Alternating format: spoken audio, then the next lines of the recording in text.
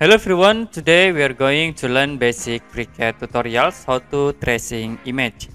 Okay, here I will create new drawing and change into image tools.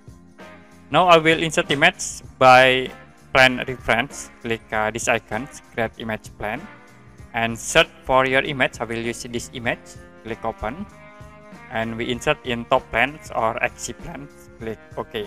So it will be automatically attached. You also can set for transparency for this image go to models select image plan and then I will set transparency into 70 the next we use part design. I will use part design.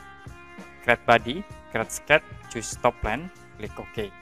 Now in here I will tracing by using this rectangle tools. Okay, you can click a rectangle from this point.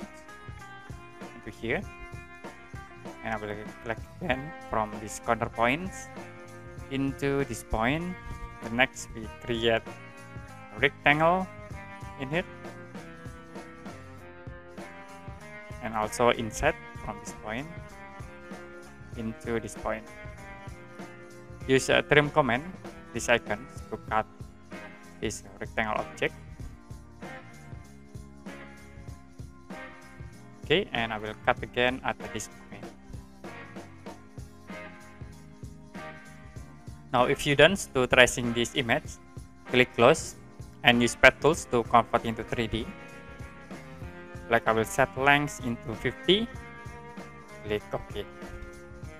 So that's it how to tracing image in FreeCAD. And if you have any question about this tutorial, you can comment below this video.